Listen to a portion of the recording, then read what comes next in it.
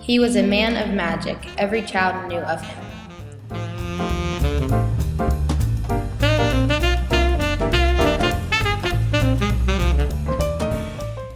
He owns many companies and still does today.